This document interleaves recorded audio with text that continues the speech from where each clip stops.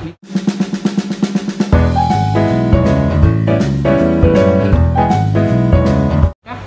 Nikah belum? Belum. Berapa target umur berapa baru nikah?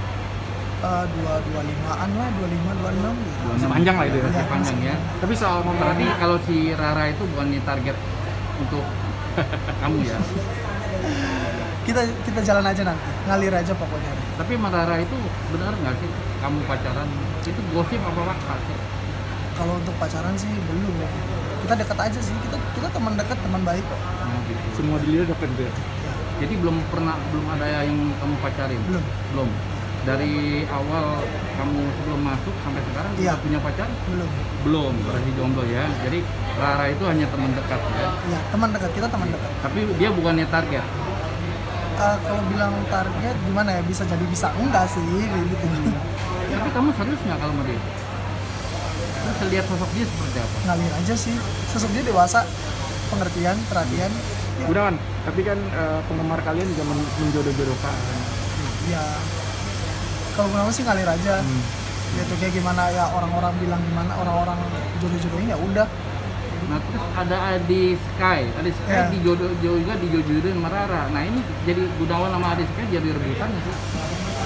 Kalau rebutan enggak sih, karena ya Gunawan udah tahu bagaimana perasaan Rara dan Rara juga tahu bagaimana perasaan Gunawan.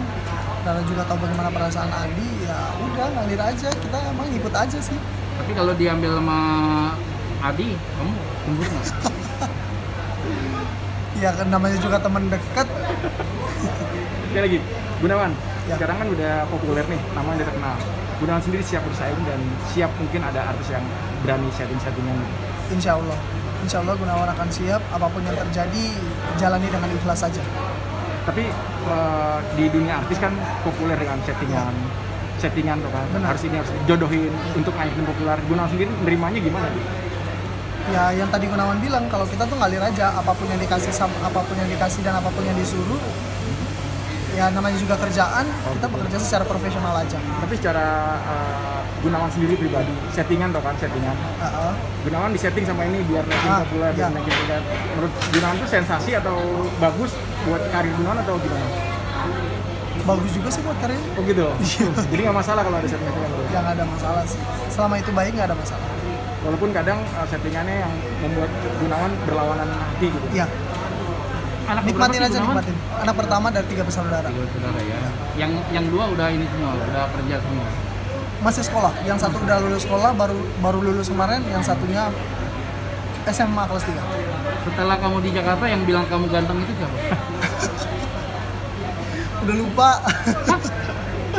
yang bilang Gunawan ganteng. Eh, udah lupa deh. Rara Udah lama di sini. Rara pernah bilang nggak kamu ganteng? Pernah. Hah? Pernah. Pernah ya. Oh, normal berarti ya. Normal ya. Enggak,